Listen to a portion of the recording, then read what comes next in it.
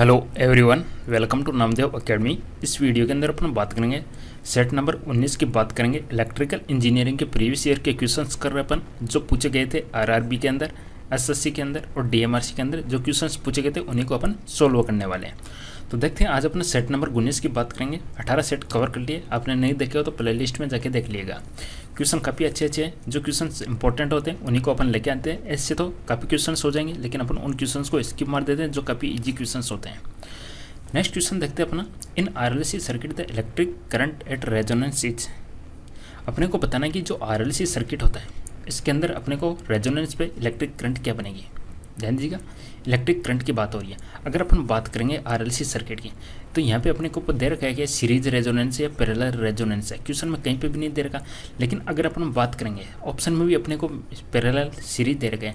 तो यहाँ पे देखिएगा, यदि अगर अपन बात करेंगे रेजोनेंस पे कंडीशन क्या होती है? रेजोनेंस की कंडीशन ये होती है कि वहाँ पे आपका एक्सएल और एक्सी आपका बराबर हो जाता है। रेजोनेंस की कंडीशन ये होती है कि वहाँ पे आपका इंडक्टिव रिएक्टेंस और कैपेसिटिव रिएक्टेंस बराबर हो जाता है। इसलिए सर्किट का जो टोटल इम्पिडेंस है वो किसके इक्वल हो जाता है? आर के इक्वल हो जाता है। यदि रेजिस्टेंस मिनिमम हो गया रेजिस्टेंस यहाँ पे मिनिमम हो गया इम्पिडेंस को अपन किस तरीके से देते हैं? अगर R square plus X L minus X C का होल स्क्वायर से देते हैं अपन, अगर सीरीज़ की बात करें तो यहाँ पे यदि जेड मिनिमम हो रही है जेड की वैल्यू मिनिमम हो रही है तो करंट की वैल्यू क्या हो जाएगी? मैक्सिमम हो जाएगी।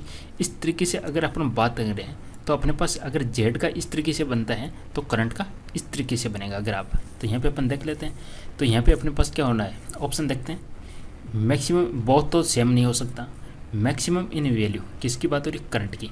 तो करंट है मैक्सिमम होगी सीरीज़ के अंदर। Maximum in series circuit and minimum in parallel circuit ये अपने पास आंसर हो जाएगा ए ठीक है? काफ़ी अच्छा क्वेश्चन है। तो यहाँ पे अपन बात करेंगे। आरएलसी सीरीज़ सर्किट के अंदर रेजोनेंस पे करंट मैक्सिमम होती है, जबकि पैरेलल के अंदर रेजोनेंस पे करंट है, वो मिनिमम हो जाती है। नेक्स्ट क्वेश्चन देखते हैं।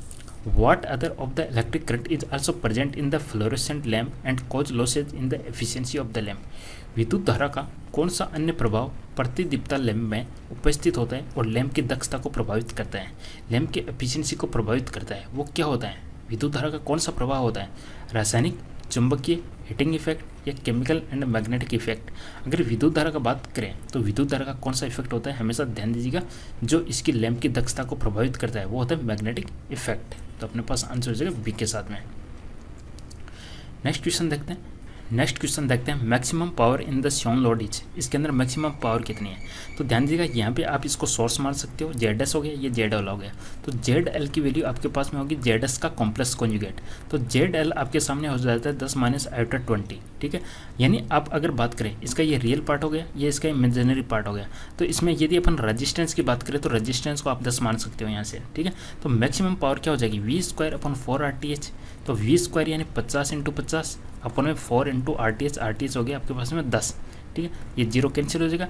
पचम पच्चीस यानी ढाई सौ बट्टे चार, ये आपके पास में आ गया बासठ पॉइंट पाँच। इसको दूसरे तरीके से आप सोल्व करना चाहो तो दूसरे तरीके से आप इसको सोल्व करो तो टोटल रेजिस्टेंस आपके सामने कितना आ जाएगा? टोटल रेजिस्टेंस हो गया आपके सामने दस और दस इसका यानी बीस हो जाएगा। ये दोनों इमेजनरी पार्ट कैंसिल हो जाएगा। तो रेजिस्टेंस हो गया आपके सामने बीस। अब यहाँ से आप करंट निकाल लीजिएगा। करंट की वैल्यू क्या हो जाएगी? वी बट्टे आर से। वी आपके सामने पचास है और रजिस्टेंस आपके सामने ट्वेंटी यानी पाँच बटे दो आपके सामने आ गई करंट पाँच बटे दो का मतलब ढाई, दो पॉइंट पाँच आपके सामने आ गई करंट ठीक है? तो पावर की वैल्यू बात करें तो पावर हो जाएगा अपने पास आई स्क्वायर इंटू आर तो आई स्क्वायर हो गया आपके सामने दो पॉइंट पाँच इंटू दो पॉइंट पाँच और आर कितना हो गया आपके पास में दस। तो ये हो गया, ये दोनों पॉइंट सौ हो जाएगा, ये ज़ीरो कैंसिल हो जाएगा, यानी पच्चीस पच्चीस छः सौ पच्चीस बटे दस, यानी आपके पास आंसर होगा बासठ पॉइंट पाँच। तो इस तरीके से आप इस क्वेश्चन को दोनों तरीके से सोल्व कर सकते हो। नेक्स्ट क्वेश्चन आपके सामने नीचे दिए गए परिपद में आवश्यक जाल धाराओं की संख्या बताइए। The number of mesh currents required in the circuit given below. तो इसके अंदर आप देखोगे, एक तो ये बन गया, एक ये बन रहा है, दो। अगर एक ये देखोगे आप इस तरीके से, यानी एक ये बन गया, तीन। एक ये बन चुका, चार। और एक ये पाँच। तो इसके अंदर टोटल जो लूप्स बनने वाले हैं, आप देख सकते हो, एक तो ये है। ठीक है? यानी कन्फ्यूज़न हो तो आप तो एक तो ये हो गया। एक आपके सामने ये हो गया। ठीक है? एक आपके सामने ये हो जाएगा। तो इस तरीके से तीन इसमें बन रहे चार और पाँच। तो इसके अंदर टोटल लूप कितने बनने वाले हैं? पाँच। नेक्स्ट क्वेश्चन है, नीचे दिए परिपथ में वोल्टेज फ़ंक्शन तो आर में औसत शक्ति ज्ञात कीजिएगा। अपने को दे रखे। हैं in the circuit show below the voltage function is इतना एवरेज पावर आपको बतानी है। तो आपको पता होना चाहिए कि एवरेज पावर अपन किसको बोलेंगे? एवरेज पावर की बात करें तो अपने पास होता है V R M S square बटे आर होता है। यानी वी आर स्क्वायर बटे आर होता है। वी आर एम एस कहाँ से लेके आओगे?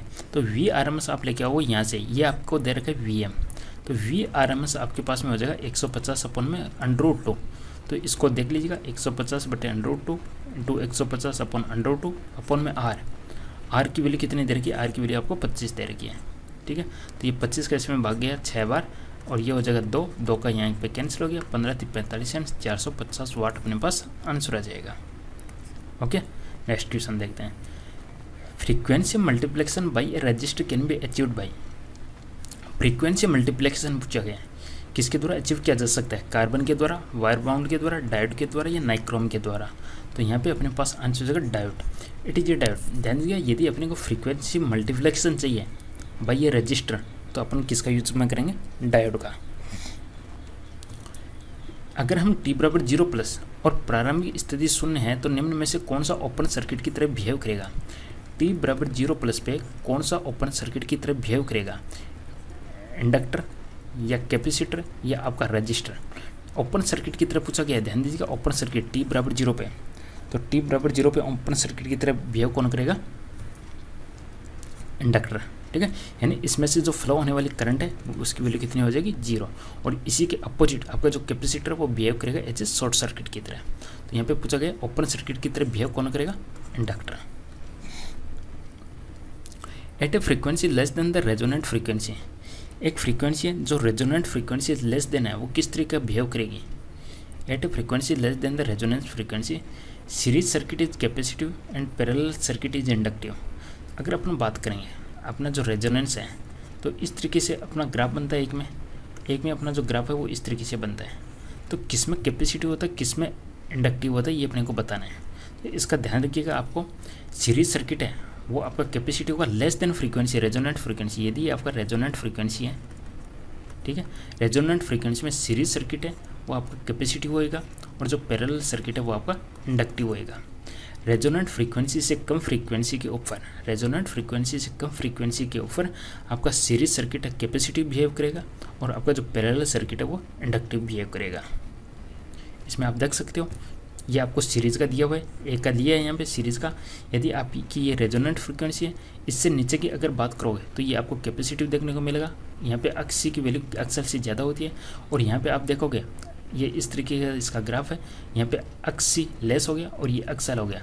ये आपका अक्सल का ग्राफ और ये अक्सी दोनों को कंपैरिजन पे करोगे। ये रेजोनेंस पॉइंट हो गया। रेजोनेंस पॉइंट पे दोनों इक्वल हो गए। और इससे कम इससे कम हो जाएगा यानी अक्सी ज़्यादा हो गया यानी कैपेसिटी हो गया और ये इंडक्टिव हो गया। ये किसका लिया ग्राफ सीरीज़ का। और आपको पैरेलल का करना है? इसका जस्ट अपोजिट हो जाएगा। कंडीशन चेंज हो जाएगी। Inductive and capacitive reactance are equal at this point ठीक है? तो ध्यान दीजिएगा स्क्रीन शॉट ले सकते हो यहाँ से। यह है सीरीज़ रेजोनेंस की कंडीशन यहाँ पे कैपेसिटी और इसके बाद में inductive the value of current at resonance is a series RLC circuit is affected by the value of ध्यान दीजिएगा वैल्यू ऑफ़ करंट आई की value at resonance at resonance in series R L C circuit is affected by the I की value अपन किससे देते we by Z से देते हैं। और जेड हो गया, वो होता है अपने पास R square plus XL minus XC का होल स्क्वायर होता है, ठीक है? का अंडर रूट। रेजोनेंस कंडीशन पे क्या होगा? एक्सएल और अक्सी दोनों बराबर हो जाएगा तो जेड की वैल्यू ओनली आर के द्वारा दी जाती है। तो रेजिस्टेंस ओनली आर पे डिपेंड करेगा। कैपेसिटिव और इंडक्टेंस, इन दोनों का कोई रोल नहीं होगा। किसके ऊपर? At resonance. तो यहाँ पे अपने पास आंसर क्या आ जाएगा only one. Next question. In series L C R circuit at resonance series L C R circuit resonance पे क्या होता है? आपने देखा था? इसमें करंट तो होती है अपनी मैक्सिमम और ये रेजिस्टेंस होता है, ये इम्पिडेंस होता है मिनिमम तो current maximum power factor zero power factor zero होता है क्या? रेजोनेंस कंडीशन के ऊपर पावर फैक्टर हमेशा यूनिटी होता है। तो पावर फैक्टर हो गया यूनिटी तो यहाँ पे अपने पास आंसर हो जाएगा current is maximum power factor is unity current maximum क्यों होता है? क्योंकि यहाँ पे जो इम्पिडेंस है, वो होता है मिनिमम और पावर फैक्टर यूनिटी क्यों होता है? क्योंकि अक्स एल और अक्स सी दोनों बराबर हो गए तो कोस फाई है, वो दिया जाता है आर बाई जेड से, ठीक है? और जेड बराबर आर हो गया तो ये हो गया आर बाई आर से तो कोस फाइव की वैल्यू क्या हो जाएगी? वन तो इसलिए पावर फैक्टर है, वो यूनिटी होता है। The superposition theorem is applicable to superposition theorem आप किसको बोलते हो? ठीक है? जैसे कि सपोज़ मैंने यहाँ पे एक वोल्टेज सोर्स लगा रखा है और यहाँ पे मैंने एक करंट सोर्स लगा रखा है, ठीक है? अब इसका मतलब क्या है? इसका मतलब है जैसे कि फ़र्स्ट केस में क्या करूँगा मैं? इसको, इसके इंटरनल रेजिस्टेंस में बदल दूँगा। इसको ओपन कर दूँगा, यानी ओनली ये एक्टिव है। इसको एक्टिव करके इस ब्रांच में जैसे मैंने करंट फाइंड कर ली आई वन दूसरे केस में क्या करूँगा? इसको शॉर्ट कर दूँगा और इस सोर्स के कारण इसमें करंट फाइंड करूँगा आई टू और जो मेरे को अगर इसमें फाइनल करंट निकालनी है तो टोटल करंट हो जाएगी I one plus I two ये कहलाती है सुपर पोजिशन थ्योरम तो super position theorem is applicable to किसके ऊपर अप्लीकेबल होती है? करंट ओनली नहीं। वोल्टेज होता है तो भी अप्लीकेबल होता है। वोल्टेज ओनली वोल्टेज नहीं। बहुत current and voltage current voltage and power तो यहाँ पे अपने पास करेक्ट आंसर रहेगा सी बहुत करंट और वोल्टेज के लिए सुपरपोजिशन थ्योरम लागू होती है। इसको अपने को मैच करना है। अपने को एक लिस्ट दे रखी है। इस लिस्ट को लिस्ट टू से मैच करना है। यहाँ पे अपने को दे रखा है फोर्स मेज़रमेंट यहाँ पे टॉर्क मेज़रमेंट यहाँ पे एसिलरेशन मेज़रमेंट इनको अपने को देखना है कि फोर्स किसके अंदर होता है। तीन ऑप्शन इधर दे रखे तो यहाँ पे अपन किससे मैच करेंगे? तो फोर्स को अपन मैच करते हैं कैंटिलीवर बीम के साथ में, ठीक है? अपना जो टॉर्क होता है टॉर्क मेज़रमेंट को अपन करते हैं फ्लैट स्प्रिंग के साथ में, और जो एसिलेशन होता है एसिलेशन को अपन मेजर मेल करते हैं इसके साथ में सिस्मैक मास के साथ। कंपेयर द्रव्यमान।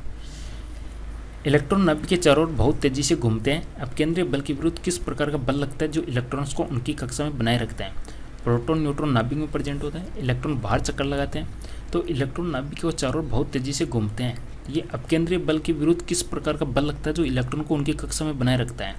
आकर्षण का स्थिर विद्युत बल, electrostatic force of attraction, electromagnetic, gravitational या अधेसिव तो यहाँ पे आपका आंसर हो जाएगा इलेक्ट्रोस्टैटिक फोर्स ऑफ़ अट्रैक्शन। एक अणु और एक आयन में क्या अंतर होता है? अणु और आयन के बीच में अंतर बताना है आपको। एटम और आयन्स के बीच में, ध्यान दिया, एटम और आयन। एटम का मतलब क्या होगा ये आपका एटम है, जिसके न्यूट, इसमें क्या होता है? प्रोटॉन न्यूट्रॉन, ठीक है? इसका एटम क्या होगा? एटम एक उदासीन माना जाता है। आयन होता है, उसके ऊपर पॉजिटिव नेगेटिव चार्ज किसी प्रकार का भी हो सकता है। तो देखिएगा, ions have always large mass, ions are neutrally particles ions are always charge particles while the atoms are the neutral तो यहाँ पे अपने पास आंसर क्या होता है? सी के साथ में। आयन होते हैं, हमेशा अविषित कण होते हैं, चाहे उनके ऊपर पॉजिटिव होगा, चाहे नेगेटिव होगा, यानी वो अविषित होंगे। जबकि जो एटम होगा, वो बिल्कुल टोटली न्यूट्रल होगा। नेक्स्ट क्वेश्चन है which of the following statement is true about the conductor position marked one इसके बारे में, ये आपके पास में एक कंडक्टर है, इसके बारे में सही क्या है? चालक के इस बिंदु का प्रति के विरुद्ध निश्चित विभव होता है। या चालक के इस बिंदु की किसी निश्चित वोल्टता होती है। चालक से एक विद्युत धारा प्रवाहित होती है। ये अपना आंसर सही हो जाएगा। ये पॉजिटिव टर्मिनल है और ये यदि पूरा पाथ बन रहा है यहाँ देखिएगा कंप्लीट पाथ बन रहा है। कंप्लीट पाथ बन रहा है और ये इसका पॉजिटिव टर्मिनल है, ये नेगेटिव टर्मिनल है और पूरा सर्किट है, यानी इसमें से क्या हो जाएगी? करंट आई, फ्लो हो जाएगी। तो अपने पास आंसर हो जाएगा C. And electric current flow through the conductor. Next question देखते हैं। In the circuit shown below, how will the voltage V1 and V2 change when the switch S is closed? जब S को close किया S को close कर दिया तो V1 और V2 किस तरीके से चेंज होगा? ध्यान जी का पहले S1 आपका ओपन है। यदि S1 आपका ओपन है तो यहाँ पे ध्यान जी का वी ये दोनों रेजिस्टेंस क्या हो जाएगा? यदि R1 R3 पैरेलल में है तो R1 R3 इक्विलेंट बोल दूँ मैं इसको तो R1 R3 इक्विलेंट क्या हो जाएगा? यहाँ पे R3 तो आपका ज़ीरो है यानी ओनली R1 होगा। ये किसके इक्वल है? ओनली आर वन होगा। ठीक है? और ध्यान दीजिए जैसे मैं एस को शॉर्ट करता हूँ, इसको शॉर्ट किया मैंने तो आर वन थ्री इक्विलेंट किसके बराबर हो जाएगा? R one parallel R three ठीक है? इस केस के अंदर रेजिस्टेंस की वैल्यू क्या है? बढ़ेगी।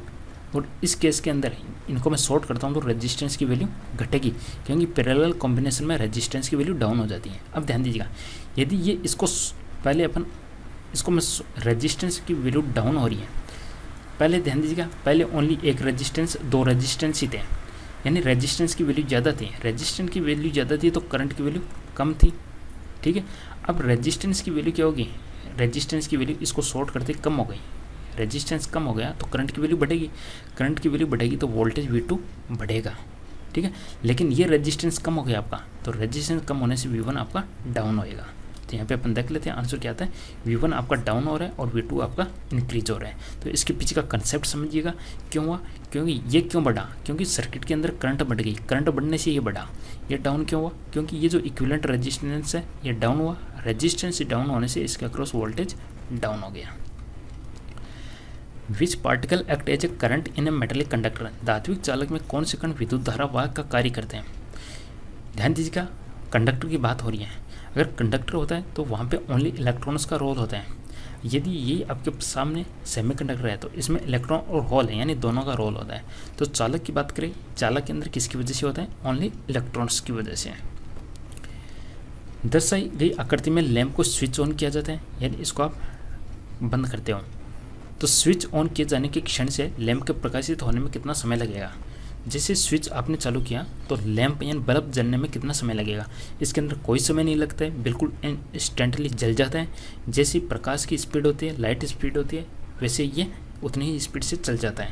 तो यहाँ पे अपने पास आंसर हो जाएगा D at time the time practically is zero because the velocity of the propagation of electric current is almost that of light तो इसके अंदर जो टाइम अंतराल लगने वाला है, वो बिल्कुल ज़ीरो होगा, यानी हाथों हाथ ही स्पीडली जल जाएगा bulb. Next question electrons flow through the metal conductor sure in the figure is दर्शा गई आकृति में धात्विक संचालन द्वारा इलेक्ट्रॉन प्रवाहित हो रहे हैं। इन इलेक्ट्रॉनों की अनुमानित गति क्या होगी? इन इलेक्ट्रॉनों की स्पीड बतानी अपने को। Approximately equal to the velocity of light approximately to third of the velocity of light approximately equal to the velocity of sound तो यहाँ पे अपने पास आंसर क्या हो जाएगा? Equal to velocity of light और वेलोसिटी लाइट को अपन कितना मानते हैं? तीन इंटू दस की पावर आठ मीटर प्रति सेकंड मानते हैं वेलोसिटी ऑफ़ लाइट यहाँ पे if three resistance are connected Yeon in the figure equivalent resistance पूछा गया है। इक्विलेंट रेजिस्टेंस क्या होगा? दो प्लस तीन पैरेलल सिक्स ये अपने पास हो गया इक्विलेंट तीन और छः का पैरल कितना हो जाएगा? तीन इंटू छः बटे तीन प्लस छः यानी छत्तीस अट्ठारह बटे नौ, यानी दो। दो ये हो गया, दो ये हो गया तो टोटल कितना हो जाएगा? चार। तो अपने पास आंसर हो जाएगा चार। The electromagnets is made of electromagnets किससे मिलकर बने होते हैं? Soft iron core soft iron plus current passing current passing it steel core steel core with current passing it तो यहाँ पे अपने पास आंसर हो जाएगा soft iron plus current passing around it electromagnet बनाते हैं तो soft iron plus current passing through it यहाँ पे which of the resistance is represented by the करवा यहाँ पे ध्यान दीजिएगा रेजिस्टेंस है, यहाँ पे वोल्टेज है। तो ये किसका है? यहाँ पे ध्यान दीजिएगा वोल्टेज के साथ में इसका रेजिस्टेंस बढ़ रहा है। इसका मतलब ये किससे रिलेट करेगा? पोटेंशियोमीटर लेयर रेजिस्टेंस हॉट या कोल्ड हॉट या कोल्ड हॉट में जाओगे या कोल्ड में जाओगे? ध्यान दीजिए वोल्टेज के साथ में रेजिस्टेंस बढ़ रहे हैं। यानी इसको अपन किससे रिलेट करेंगे? हॉट कंडक्टर से। क्योंकि टेम्प किसी भी चीज़ को अपन अगर अपन बात करेंगे हॉट हो गया। यहाँ पे इसमें देखिएगा नेगेटिव टेम्परेचर कॉपिशेंट और यहाँ पे पॉजिटिव टेम्परेचर कोपिशेंट तो ये आपका रिलेट करेगा एनटीसी से हॉट कंडक्टर से रिलेट करेगा। नेक्स्ट क्वेश्चन है। The resistance of a conductor when its temperature is increase जब टेम्परेचर कोई भी कंडक्टर है, उसका रेजिस्टेंस क्या होगा? जिससे आप टेम्परेचर इंक्रीज करते हो तो यहाँ पे आपका आंसर हो जाएगा डी के साथ में इंक्रीज ठीक है? पॉजिटिव टेम्परेचर कोपिशेंट यानी अपन कह सकते हैं रेजिस्टेंस अगर टेम्परेचर आप बढ़ा रहे हो तो उसका रेजिस्टेंस आपका बढ़ेगा। आंसर हो जाएगा अपने पास में increase which of the following does not have dual relationship देखिए ऑप्शन में से बताना कि ड्यूल रिलेशनशिप किसमें नहीं है।